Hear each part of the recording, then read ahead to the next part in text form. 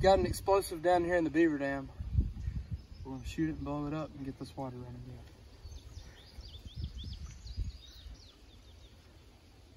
Well, if I can see the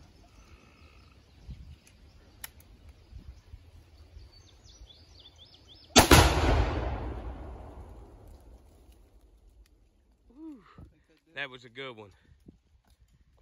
I felt a percussion from that. Concussion, percussion, a cushion. I don't know.